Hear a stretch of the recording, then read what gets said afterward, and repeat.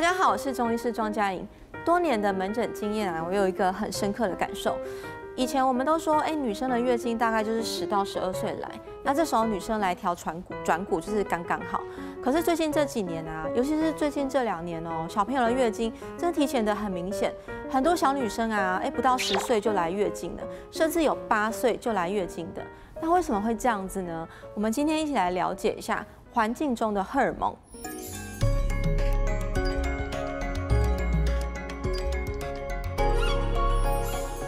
环境荷尔蒙是什么东西啊？它是一种人类生产出来的一些化学物质，它会干扰我们的内分泌系统，所以它又称为内分泌的干扰物。基本上每天从烹饪、从储藏到你开车运输，到你在穿衣服，都有可能会接触到这些环境荷尔蒙。那甚至可能从小孩生下来就开始透过母乳去传递给婴儿。那它对我们身体有什么影响呢？因为这些环境荷尔蒙，它些化学结构啊，长得跟人体内的正常荷尔蒙很像，所以当它在人体里面累积，就会干扰到我们正常的免疫生殖系统，甚至是有一些代谢上的一些功能障碍。比如说有些啊，像男性他的精子数目会减少，那女性呢卵巢呢就会变成呃健康程度受到影响。所以最近呢，不孕症的人越来越多，而且发现呢，他的神经系统啊、智力啊也都会变得比较功能低下一点。像我们开场说到嘛，月经提早，那主要就是小孩子他在生长发育啊，他内分泌系统正在启动，所以受到环境荷尔蒙的影响啊，就会比较敏感一点。所以除了生殖系统之外，甚至有一些呢，会有一些智力的障碍，神经发育的一些迟缓。所以是变成我们后代呢，有一种越来越笨的一些倾向。其实有一些科学家研究真的发现说，一九七零年之后出生的人啊，跟一九五九以前的人比起来，哎，这些人呢比较后出生，这些人呢，精子数目是真的显著的下降，那不孕症的比例呢也显著的上升，性早熟的比例啊，子宫内膜异位症啊，癌症啊，月经失调的比例也越来越多了。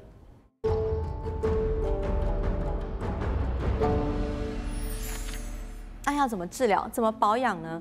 其实环境就是这样子啦，这整个大环境就是这样子。首先，我们要降低它对我们人体的干扰，因为我们的生殖系统它对环境荷尔蒙是敏感的。如果它被抑制，或是呢本身我们的生殖系统稳定程度就不高，那就有可能呢造成精虫的数目降低啊，呃卵子的发育状况也变得比较不好啊。所以，当我们的身体处于一个百毒不侵的状况。那我们毒性敏感的程度呢，哎降低之后，自然就会维持我们正常的身体机能。那这时候我们就说到中医在说主生殖的这一块，就是我们的肾气。肾呢主补生水，主生殖。这时候补肾药呢比较偏生殖的这边，像是熟地啊、八几天啊、菟丝子啊、啊何首乌啊、阴阳藿、肉苁蓉这些，就会降低环境荷尔蒙对我们生殖系统的伤害。那也因为呢，肾是先天之本，那肾藏精，这个精呢也是精子跟卵子的这个精，所以补肾药呢本来就在治疗这些不孕症，那当然呢治疗这些环境荷尔蒙，去降低我们生殖机能。当然会有显著的改善。那另外一边呢，就是性早熟这一边。现在很多孩子啊，常常吃这些加工品、过度包装的东西，导致性早熟。其实有些小朋友受到这些毒素的干扰啊，哎，也会变成月经常常一直来。我们会用滋阴泻火的中药。那滋哪边的阴呢？泻哪边的火呢？当然就是肝肾。那有些女生。它是泌乳激素很高，导致呢受到环境荷尔蒙的刺激，它的呃胸部一直很痛，因为泌乳激素过高啊，乳腺一直胀痛啊，那月经也乱七八糟的。这时候我们也会开滋阴泻火的药，这时候就会调肝经跟胃经，像是生地啊、知母啊、石膏这些。那我临床上最常用的就是淄博地黄丸。所以总结起来，不论你是生殖功能被抑制掉，或是过度发展的，总之这些异常呢，中医都可以有方法去拮抗它。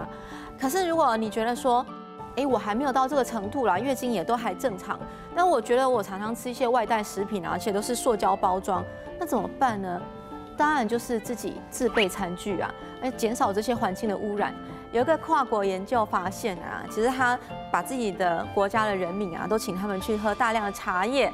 那这些茶呢，会让环境荷尔蒙排出体内的效率会提升。再有些食物呢，像是荞麦啊、萝卜啊，以白萝卜为主，还有白菜，小米、菠菜这些这些比较偏清热解毒，而且又会顾肠胃的这些食物，会促进环境荷尔蒙从我们体内排出，效率会提升。